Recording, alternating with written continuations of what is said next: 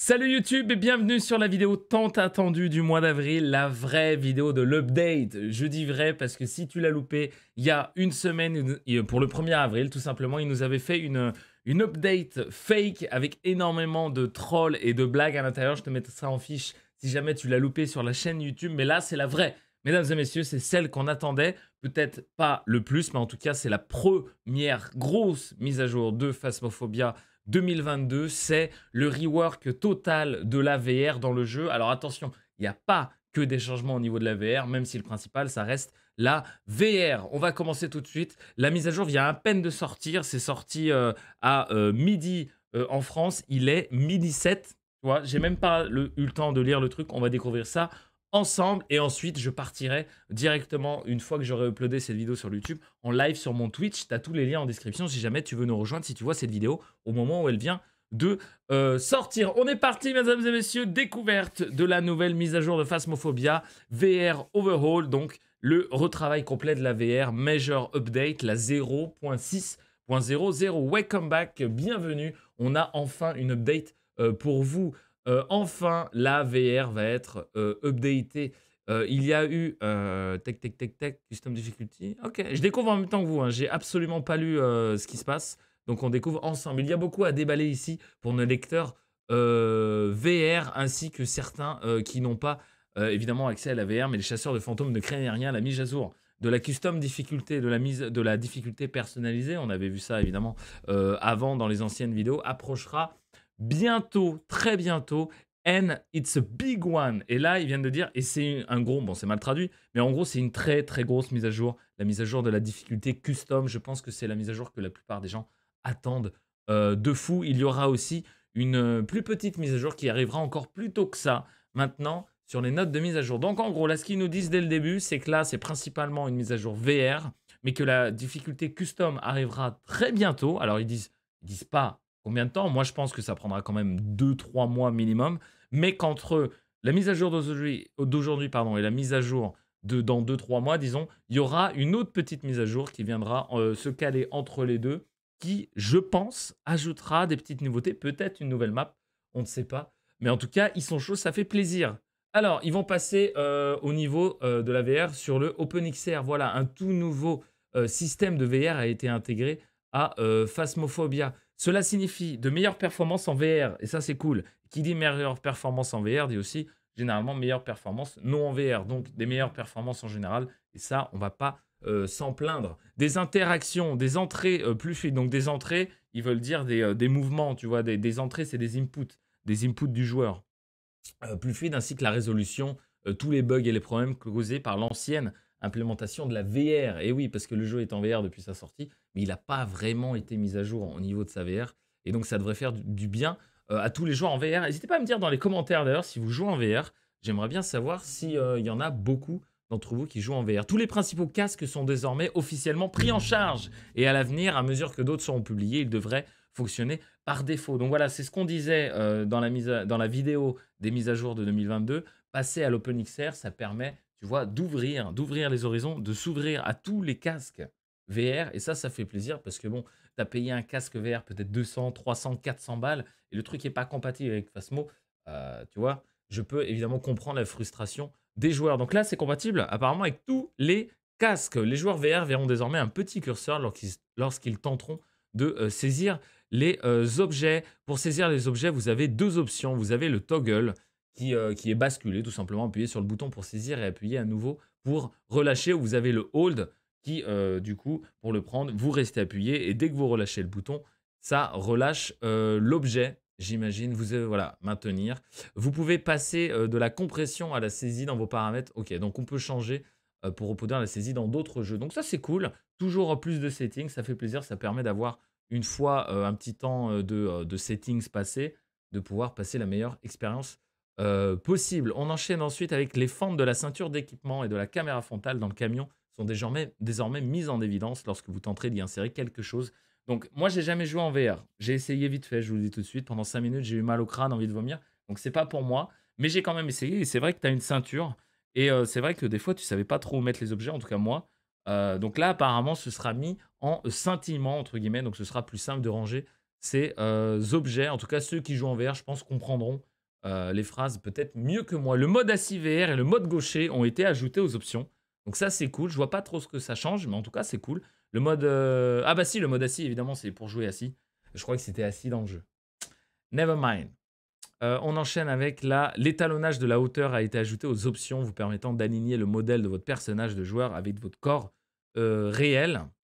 C'est quand même des, grosses, des grosses updates, ça fait plaisir. De nouvelles poses de main et d'animation ont été ajoutées pour un meilleur retour visuel, comme l'utilisation d'interrupteurs et l'ouverture de portes. Alors ça, on l'avait vu dans la vidéo teaser.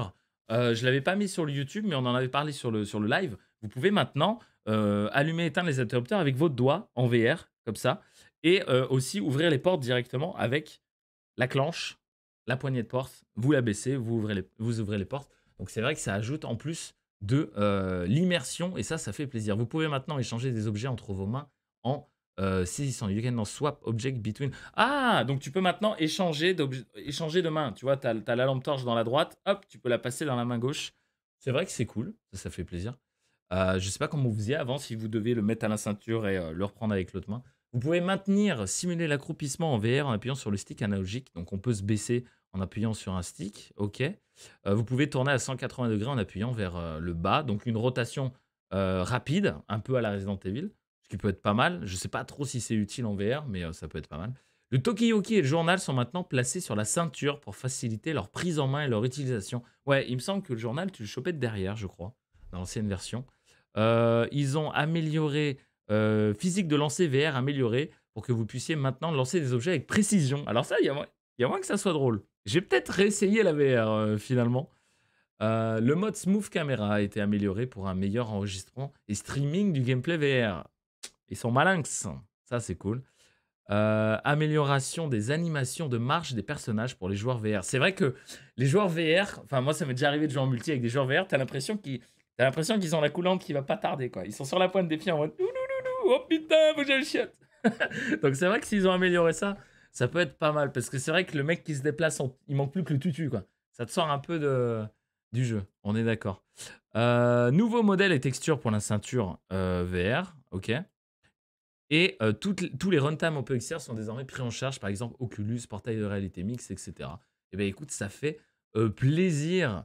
En raison de ces changements, nous vous recommandons de revoir les options VR du jeu et d'ajuster tout ce qui est nécessaire pour une expérience optimale. Voilà, donc en gros, ce qu'ils disent, c'est qu'avec cette mise à jour, comme il y a tellement de changements, euh, quand vous lancez le jeu, évitez de lancer le jeu directement une partie, passez quand même euh, par la case options et settings, histoire euh, que votre expérience soit la meilleure possible. Voilà la grosse mise à jour de euh, la VR. Ça a l'air peut-être de rien comme ça, en tout cas pour moi et pour ceux qui jouent pas en VR, mais je suis sûr, pour ceux qui jouent en VR, ça va être un, un- un courant d'air frais.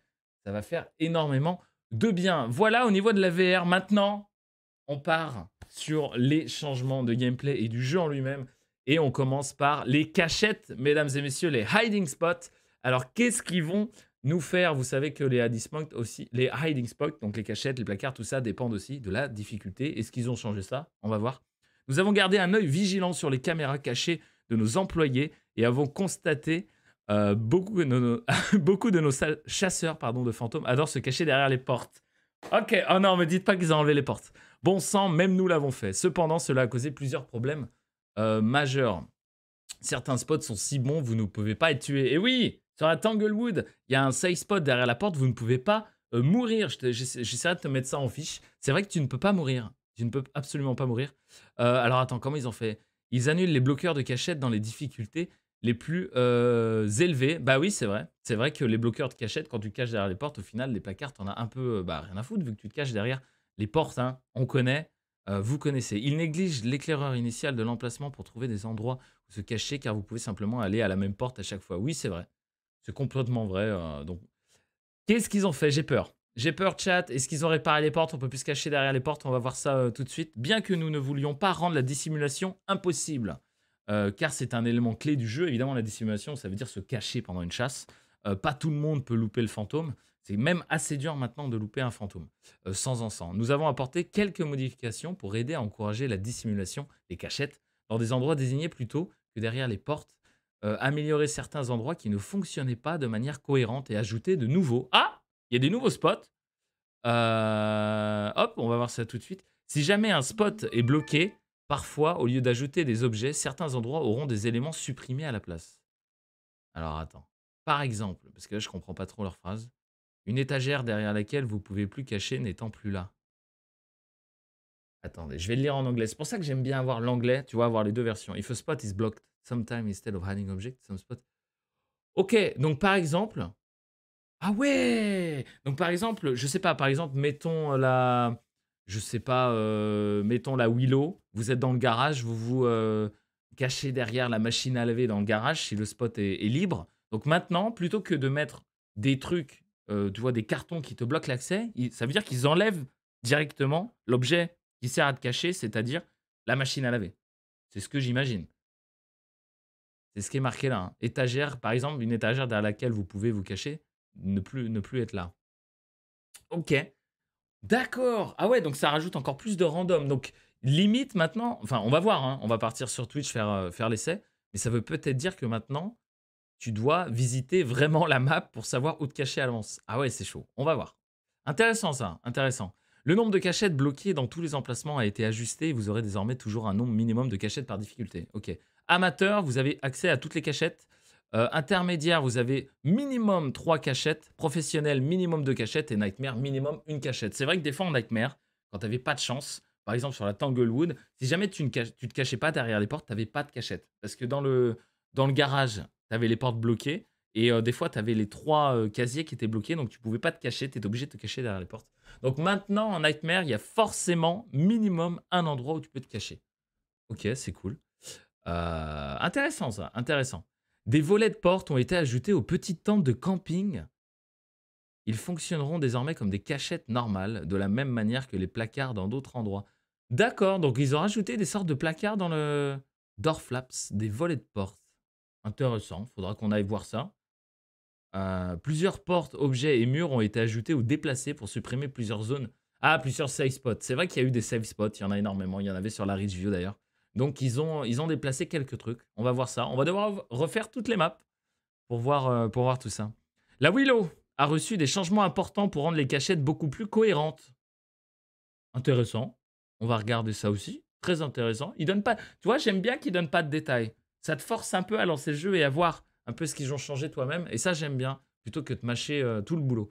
Ok, donc un gros changement quand même au niveau des spots. On va aller vérifier ça euh, tout de suite. Au niveau des nouveautés, euh, les écrans du camion ont été mis à jour. Très bien, ça, il l'avait déjà teasé. C'est vrai qu'ils sont stylés maintenant, on ira voir ça aussi. Le capteur sonore a reçu de nouveaux visuels et fonctionnalités. Alors, le visuel, on le savait, la fonctionnalité, on ne le savait pas. Le visuel, c'était les petits trépieds. alors, les capteurs sonores couvrent désormais une zone sphérique au lieu d'un cube et sa taille a été augmentée. Intéressant, puisque maintenant le capteur a un trépied, j'imagine qu'on ne peut plus le mettre au mur. Donc sphérique avec euh, taille augmentée, ça fait sens, pourquoi pas. Euh, qu'est-ce qu'il y a d'autre? Les capteurs sonores sont désormais placés de la manière que les bougies, voilà, bougies caméra sur les tables, les sols et autres objets. Donc c'est exactement ce que je viens de vous dire, ce qui est roleplay, quelque part. Euh, les sons sont désormais affichés plus précisément lorsqu'ils sont affichés sur le moniteur dans la camionnette.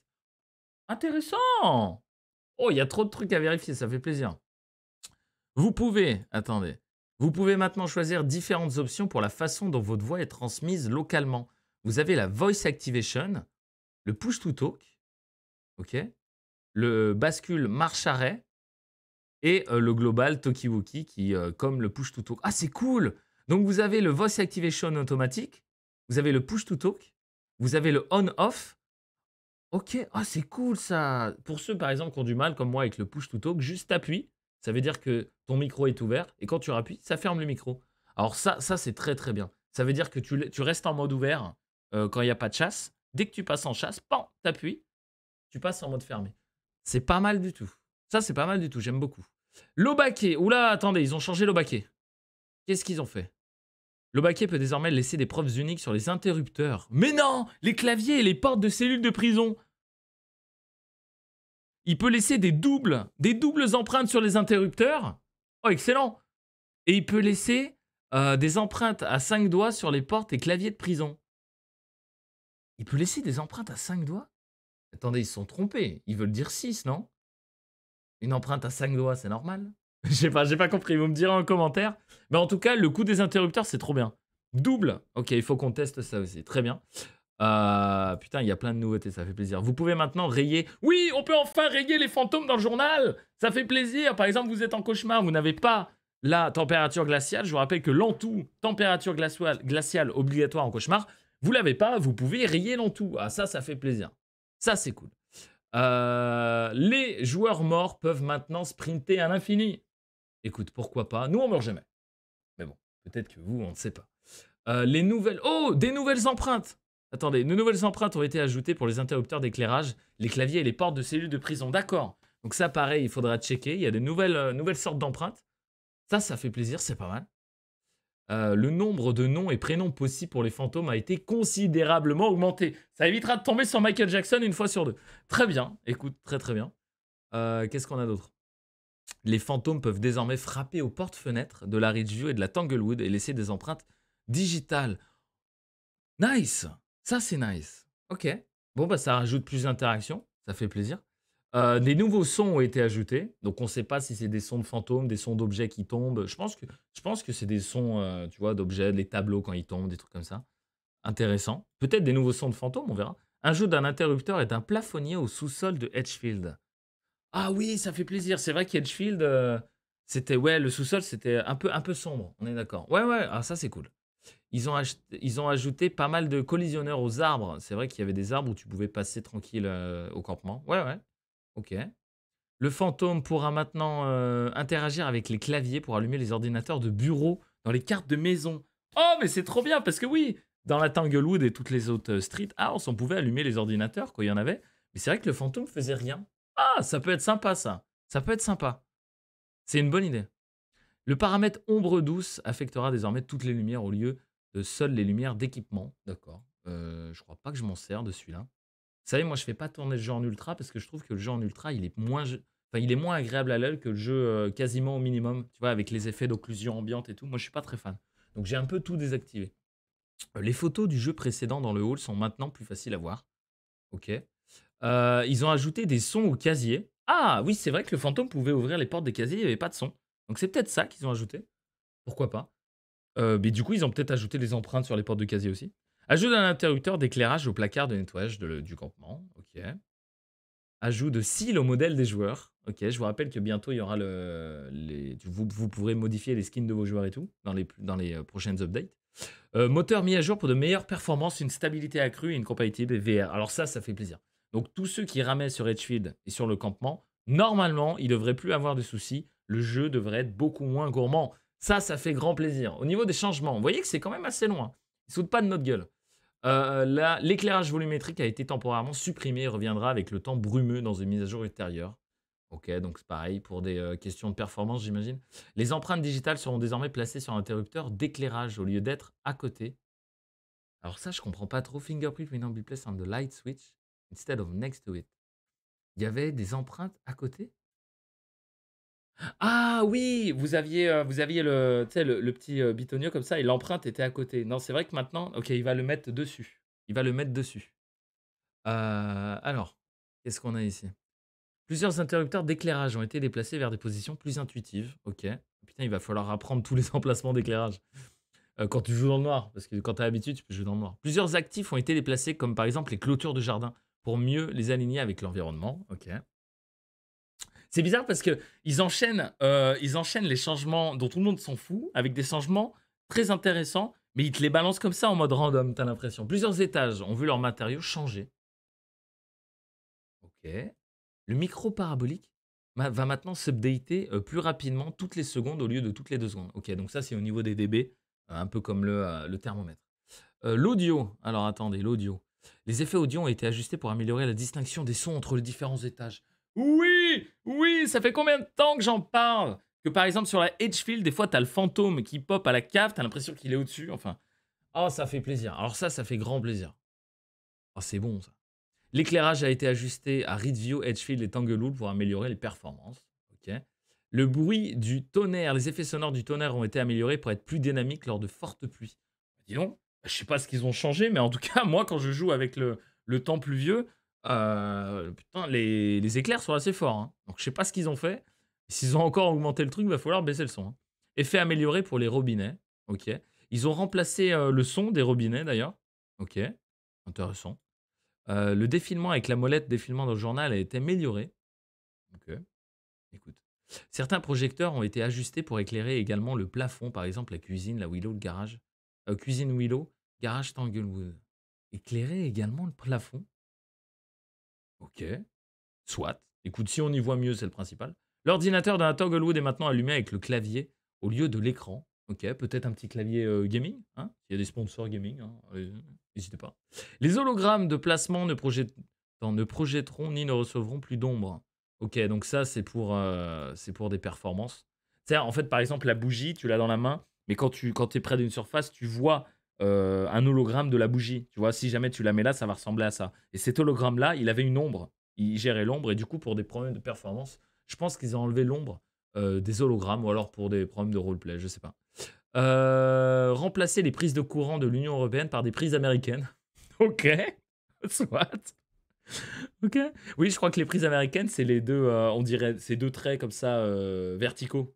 Tu vois, alors que nous, c'est des ronds avec la, terre au milieu. Euh, les portes de casier ont maintenant des fentes pour nous aider à voir à travers. Oh, c'est cool ça. Donc tu peux voir le fantôme se balader quand tu te caches dans un casier. Stylé. la porte des prisons sont maintenant plus faciles à faire coulisser. Alors ça, ça fait plaisir parce que le nombre de fois que je me suis fait troll. le prix des pilules de santé mentale a été réduit à 20 dollars. Ok.